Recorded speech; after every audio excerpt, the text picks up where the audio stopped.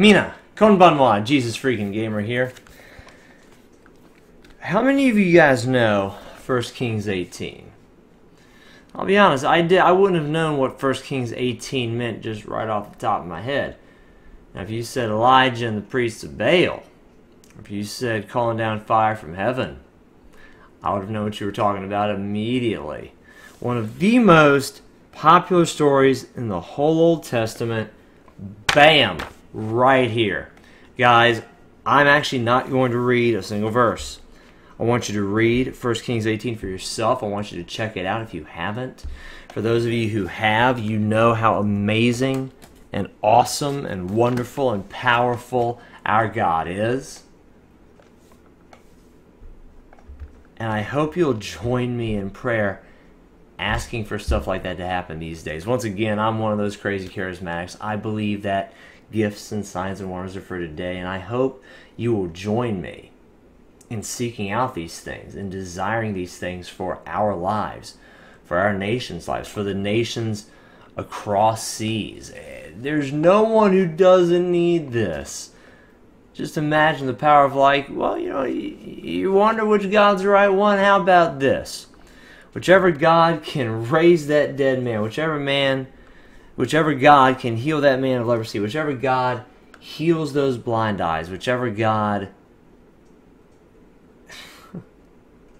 whichever God, uh, how should I, I was like, I was like, there, we, we don't really do idols here in the United States. There are nations who do idols, though, and, eh, or but not.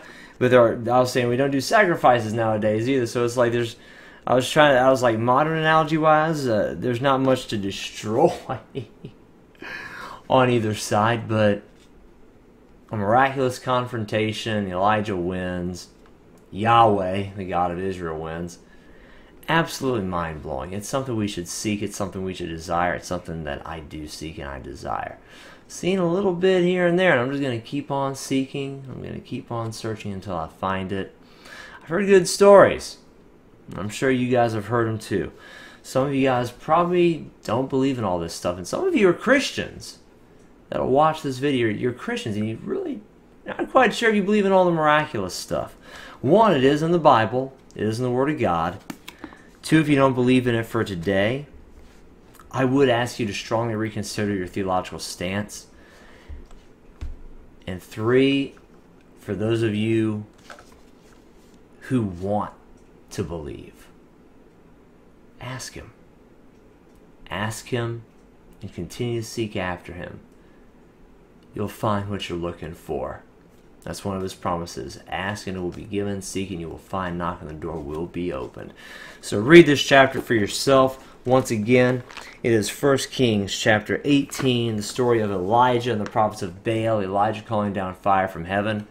And there's a lot of other good stuff in the chapter as well. It's not just that story. There's a lot of other really potent stuff. There were more things I could have said.